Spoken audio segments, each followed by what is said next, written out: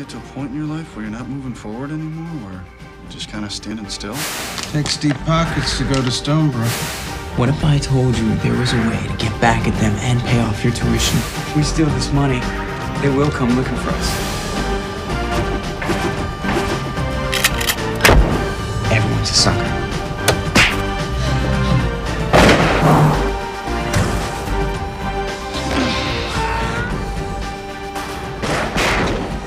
I'm sorry, kid. Stonebrook.